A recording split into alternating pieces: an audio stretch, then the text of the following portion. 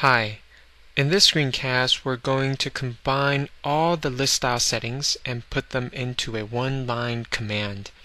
The list style combine rule is very flexible where it will let you declare list style type, list style position, and list style image all in just one line. Not only that, if you want to just change one of the three list style settings, you can do it with this command rule as well. So uh, let me show you an example. Let's open up the CSS folder.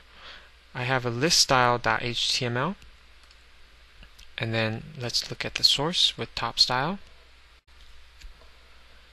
Okay, so you can see here that I have a HTML page with a style sheet and a class image that's set up and the combine rule uh, combine rule looks like this. Uh, you do list dash style and then colon. Then after the colon, you separate out the three settings by space. So you can see here, the first one, I set the list style type, circle, and then second value, I set the list style position to inside, and then after that, I set the list style image okay using the URL method okay for CSS then you use semicolon to close out your rule okay? And you can change the order of this any way you want. You can put the circle at the very end you can put inside at the very end um, it doesn't matter okay? So if uh, I've applied this to one of the list items okay right here and let's minimize it. Let's view it in Firefox. Okay, so you see that the image is showing up, list image. Instead of uh, list type circle, the image shows up first. But in case there are uh, browsers or uh, softwares that block online images, uh, disc or, or the um, uh, list type uh, list style type would show up.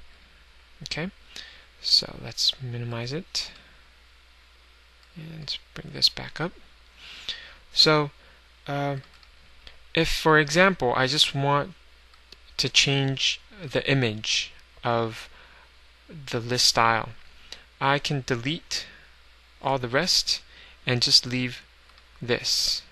Okay, and uh, the other two rules or settings will just be set to default values, which is uh, disc and outside.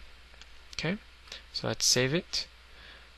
Let's minimize it, bring it back in Firefox, refresh it, and you'll see that the image is there, but everything else was restored back to default value. Okay, so this is what you do. Let me uh, go back. Alright, so this is what you do when you want to set a combined uh, list style rule. Okay, and also this uh, you can uh, set the class to a UL tag and it will change all the list items inside. Okay, that's it for this screencast. Thank you.